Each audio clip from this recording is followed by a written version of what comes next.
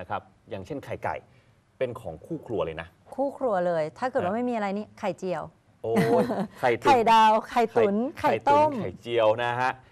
การที่จะทำให้เปลือกไข่นะฮะขนส่งได้และแตกยากเนี่ยมันมีกรรมวิธีตั้งแต่อาหารเลยนะคุณ ซึ่งในวันนี้นะครับเดี๋ยวผมจะพาไปดูหนึ่งเดียวในภาคเหนือครับในการช่วยเหลือเกษตรกรฟาร์มไก่ไข่เนี่ยให้มีคุณภาพไข่ไม่แตกง่ายจากการผลผลิตของหินอ่อน จะเป็นอย่างไรเดี๋ยวผมพาไปดูครับว่ามีกรรมวิธีอย่างไรครับ ที่อำเภอทองแสนขันครับจังหวัดอุตรดิตถ์ครับเป็นแหล่งที่มีหินสามารถนำมาผลิตเป็นหินอ่อนที่ดีมาก โดยเฉพาะหินหินอ่อนขาวที่มีสีขาวที่สุดในประเทศไทย ถูกขุดค้นขึ้นมาเพื่อใช้ประโยชน์ในด้านอุตสาหกรรมต่างๆนะครับอย่างเช่น ตกแต่งบ้านเรือนผลิตสี ซึ่งทางด้านของผู้จัดการนะครับบริษัทบ่อทองศิลาจำกัดเนี่ยหนึ่งในผู้ที่ได้เคยรับสัมปทานผลิตหินอ่อนในพื้นที่อำเภอทองแสนขันได้ผลพวงของการผลิตนำมาใช้ด้านเกษตรกรรม หรือที่เรียกว่าแคลเซียมคาร์บอเนต โดยนำหินนะครับมาบดละเอียดผสมให้กับอาหารไก่ไข่ในฟาร์มเลี้ยง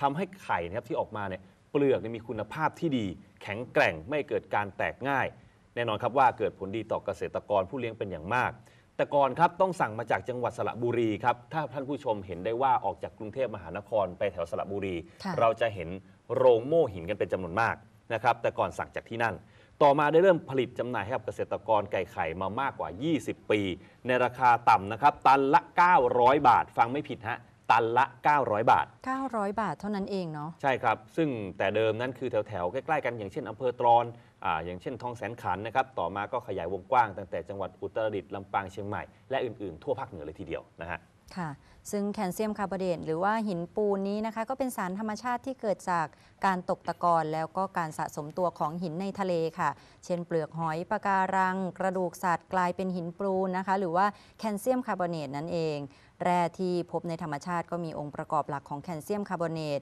มีสูตรทั่วไปเหมือนหินปูนค่ะ แต่อยู่ในรูปของผลึกต่างๆนะคะ ที่มีชื่อเรียกต่างๆ กันออกไป สถานะเป็นผงสีขาวมีความสว่างสูง ไม่มีกลิ่น แล้วก็ไม่มีรส แล้วก็ยังคงสภาพได้ดี โดยประโยชน์ของแคลเซียมแคลไซด์นะคะในด้านการเกษตรเนี่ยจะเป็นแคลเซียมคาร์บอเนตที่มีความบริสุทธิ์น้อยกว่าที่ใช้ในอุตสาหกรรมอาหารนะคะ ซึ่งก็อาจได้จากการเผาหินปูนโดยตรง หรือการนำกากแคลเซียมนะคะที่เหลือเนี่ยนะไปทิ้งไว้ในกระบวนการผลิตแคลเซียมที่มีความบริสุทธิ์สูง การใช้ประโยชน์แคลเซียมส่วนใหญ่ก็จะเป็นในเรื่องของการปรับปรุง คุณสมบัติดินและน้ำรวมถึงเพื่อการปรับความเป็นกรดเป็นด่างด้วยนะคะคุณอ่ามินใช่คะครับ แล้วก็เป็นการฆ่าเชื้อโรคได้ด้วยแหละ ก็คือเล่นง่ายปูนขาวนั่นแหละฮะ แต่ว่าจะแบ่งเกรดกันไปว่าจะเป็นแบ่งเกรดคือผลิตภัณฑ์เครื่องสำอาง ผลิตภัณฑ์อาหาร ผลิตภัณฑ์ที่ใช้ในเรื่องของอาอาหารสัตว์ แล้วก็อีกส่วนหนึ่งก็คือปูนขาวนั่นแหละที่เข้าใจกันนะฮะ ก็มาค่ะ ใช้ในเรื่องของภาคการเกษตร ในการปรับปรุงบำรุงดิน ปรับกดด่างนั่นเองนะครับค่ะ อะไปดูเรื่องไข่ไก่แล้วนะครับ